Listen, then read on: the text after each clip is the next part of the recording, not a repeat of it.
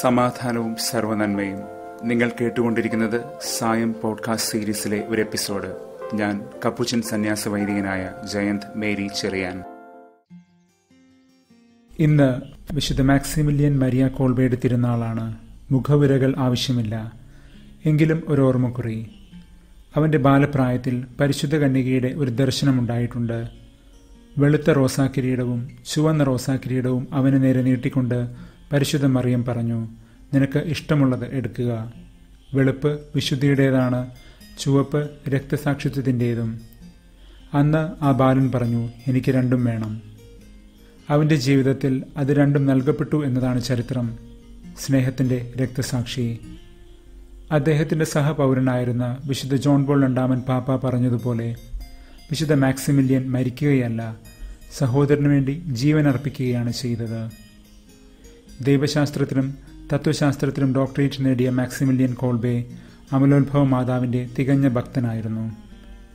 ആത്മീയ പുസ്തക പ്രസാധനങ്ങൾക്കായി അദ്ദേഹം നിരവധി ബൃഹത് സംരംഭങ്ങൾ തുടങ്ങിവെച്ചു പോളണ്ടിലും ജപ്പാനിലും. ഇങ്ങ് നമ്മുടെ കൊച്ചു കേരളത്തിലും അദ്ദേഹം വന്ന് താമസിച്ചിട്ടുണ്ട് ഈ ആവശ്യത്തിനായിട്ട്. ജൂലൈ ആയിരത്തി തൊള്ളായിരത്തി നാൽപ്പത്തി ഒന്നിൽ നാസി തടങ്കൽ പാളയമായ ഓഷ്വിറ്റ്സിൽ വെച്ച് നാസികളുടെ കിരാത നിയമത്തിനിരയായി അദ്ദേഹം മരണശിക്ഷയ്ക്ക് വിധിക്കപ്പെട്ടു.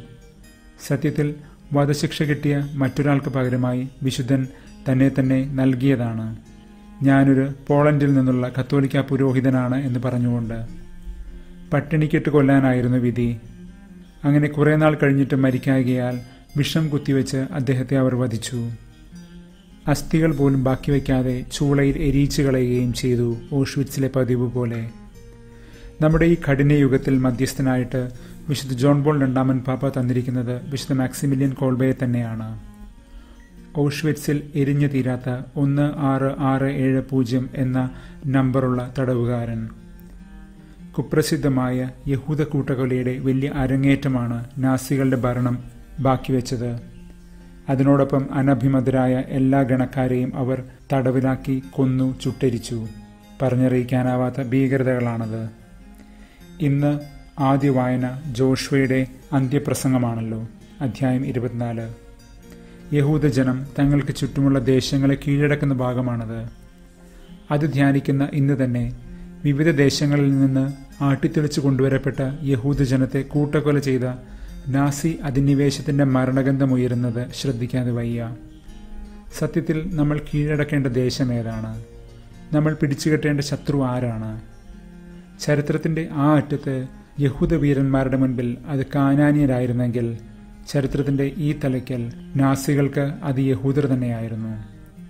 ചരിത്രത്തിന്റെ കാവ്യനീതി എന്നൊക്കെ ചിലർ പറയുമായിരിക്കും. പക്ഷേ രക്തചരിതങ്ങൾ ഒരിക്കലും ദൈവം ആഗ്രഹിക്കുന്നില്ല. അങ്കക്കലിയല്ല ദൈവചുവട് കാരണം സകലർക്കും വേണ്ടി ചുമടെടുത്തുകൊണ്ട് ചുവട് വെച്ചവനാണ് ദൈവം. ഭാരം താങ്ങി തളർന്നവരോടൊപ്പം സങ്കീർത്തനം എൺപത്തൊന്ന് ആറ് ഏഷ്യ ഒമ്പത് നാല് പത്ത് ഇരുപത്തേഴ് മത്തായി പതിനൊന്ന് ഇരുപത്തെട്ട്. ഓഷ്വിറ്റ്സിലെ നാസി മരണപ്പാളയത്തിൽ പ്രവേശന കമാനത്തിൽ എഴുതി വച്ചിരിക്കുന്ന ഭീഷണമായ പരിഹാസവാക്യം പോലെ ഒരു വ്യർത്ഥ പ്രത്യാശയല്ല അത്. ആർബൈറ്റ് മാഹ്റ്റ് ഫ്രൈ അധ്വാനം നിങ്ങളെ സ്വതന്ത്രരാക്കും എന്നത്. നമ്മൾ കൊല്ലേണ്ട നമ്മുടെ ശത്രു നമ്മുടെ അഹംഭാവം തന്നെയാണ്. നാം കീഴടക്കേണ്ട ദേശം നമ്മുടെ ഹൃദയനിലങ്ങൾ തന്നെയാണ്. ഓഹരി ഭാഗം ഭാഗതയം അതിര് എന്നൊക്കെയുള്ള പദങ്ങൾ ജോഷ്വായുടെ ചുണ്ടിൽ വിരിയുകയാണ്. പക്ഷേ അതിലെല്ലാം ഉപരി ജോഷ്വ സൂചിപ്പിക്കുന്ന വലിയൊരു സത്യമുണ്ട്. ആദ്യമായി നമ്മളെല്ലാം തന്നെ ദൈവത്തിന്റെ ഓഹരിയും അവകാശവും ഭാഗധേയവുമാണെന്ന്. നിയമാവർത്തനം മുപ്പത്തിരണ്ട് ഒമ്പത്. അന്ന് മോശ വഴി ദൈവം പറഞ്ഞ ഈ സത്യം ഇടംബലം തിരിയാതെ ജോഷുവ ഒന്ന് അഞ്ച് ജോഷുവ ഈ ഭാഗത്ത് പഠിപ്പിക്കുകയാണ്. ദൈവം ഇതുവരെ ചെയ്ത മഹത്തായ കാര്യങ്ങൾ സംശയത്തിന് ഇട നൽകാത്ത വിധം സുനിശ്ചിതമാണ്. എന്നാൽ അനുസരണമില്ലാത്ത ജീവിതമാണെങ്കിൽ മേലിൽ ആ നന്മകൾ നമുക്ക് സമ്പാദിക്കാനാകില്ല. അതിനാൽ അനുഗ്രഹങ്ങളിലല്ല നാം ആനന്ദിക്കേണ്ടതും കണ്ണുകളുറപ്പിക്കേണ്ടതും അനുഗ്രഹങ്ങളുടെ ഉറവിടമായ ദൈവത്തിൽ തന്നെയാണ്. അതാണ് ജോഷുവ നമുക്ക് നൽകുന്ന പാഠം. ഭൂതകാലത്തിന്റെ വരങ്ങൾ ഭാവിയിലേക്ക് ഒട്ടും തന്നെ അധ്വാനിക്കാതെ ദൈവച്ചുവട് വയ്ക്കാതെ നമുക്ക് കിട്ടും എന്ന് വിചാരിക്കരുത്. ഇന്ന് സങ്കീർത്തനം പതിനാറും കൃത്യം ഇതേ ധ്വനിയിലാണ് കാര്യങ്ങൾ പറയുന്നത്. അതിനാൽ അതൊരു ലേവായ പുരോഹിതനോ അതുമല്ലെങ്കിൽ കാനാന്യ മതത്തിൽ നിന്ന് പരിവർത്തനം ചെയ്ത് ദൈവത്തെ പുണർന്ന് ആരോ എഴുതിയതാകാം എന്ന് ചില പണ്ഡിതർ അഭിപ്രായപ്പെടുന്നുണ്ട്.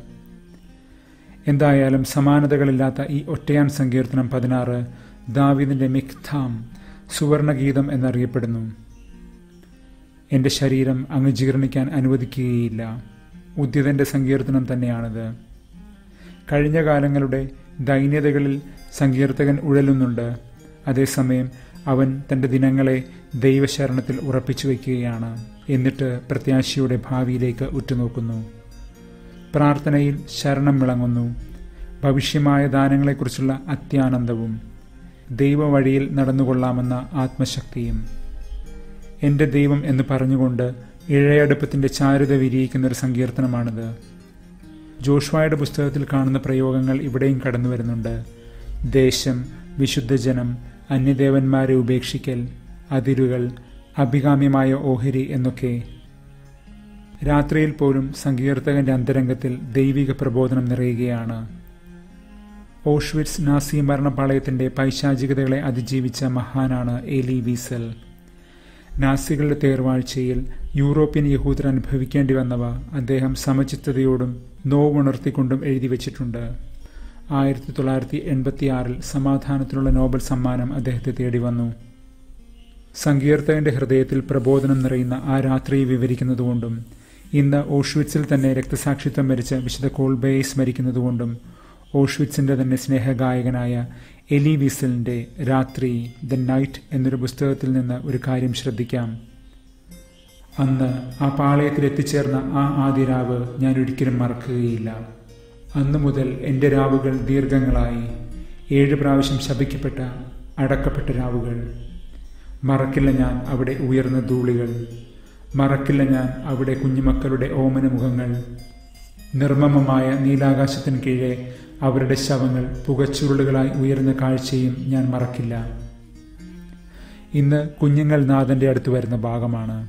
കുഞ്ഞുങ്ങളെപ്പോലും കൊല്ലുന്ന ഭീകരതയുടെ ഇരുൾ വീഴ്ചയിൽ മനം തകരുന്ന രാവിൽ നാഥൻ കുഞ്ഞുങ്ങളെ ചേർത്ത് വെച്ചുകൊണ്ട് പാടുന്നു. അവരെ എന്റെ അടുത്തേക്ക് വരാൻ അനുവദിക്കുക.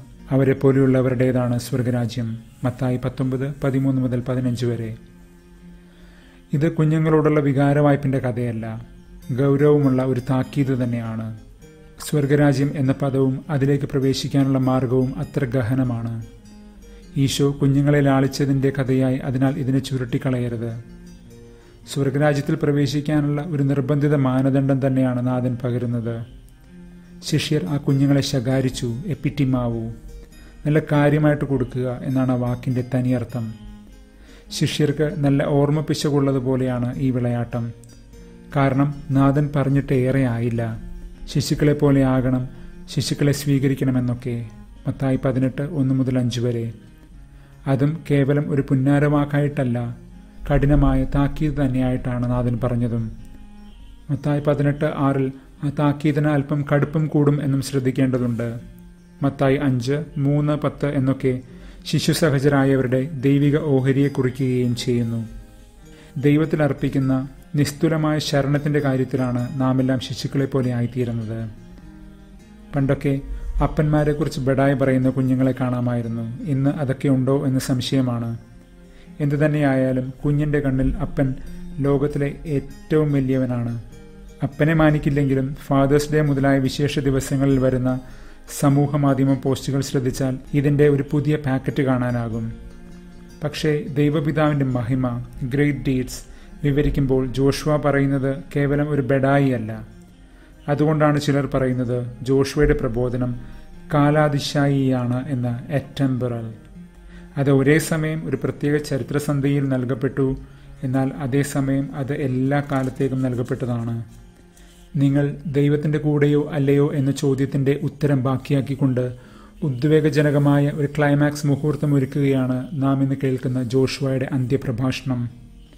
വേറൊരർത്ഥത്തിൽ പറഞ്ഞാൽ ജോഷിയുടെ വാക്കുകൾക്ക് ഒരിക്കലും വളർന്ന് പഴഞ്ചനാകാൻ സാധിക്കില്ല. അതിന് നിത്യശൈശവുമാണ്. അതിനെ പുണർന്ന് നാം വളർന്നേറിയാലും. നാം എന്നും ദൈവത്തിന്റെ മുൻപിൽ അവന്റെ സ്നേഹത്തെ ഉറ്റുനോക്കുന്ന അവന്റെ സ്നേഹം അവൻ വാരിക്കോരി വിളമ്പുന്ന അവന്റെ കുഞ്ഞുങ്ങൾ തന്നെയായിരിക്കും. ജനവുമായി അന്ന് ചെയ്ത ഉടമ്പടിയുടെ സ്മാരകമായി ജോഷ്വ ഒരു കല്ല് സ്ഥാപിക്കുന്നുണ്ട് ഇന്ന് പാഠഭാഗത്ത്. അതെല്ലാം കേൾക്കുന്നുണ്ട് എന്ന് പറഞ്ഞുകൊണ്ട് നിങ്ങൾ മറന്നാലും കല്ല് മറക്കില്ല. കല്ല് മറക്കില്ല എന്ന് മാത്രമല്ല കല്ലുകൾ ആർത്തു പാടുകയും ചെയ്യും. നമ്മൾ മറന്നുപോയ ദൈവശീലുകൾ. ലൂക്ക പത്തൊമ്പത് നാൽപ്പത്. അതിശയിപ്പിക്കുന്ന ഒരു കാര്യമെന്തെന്നോ?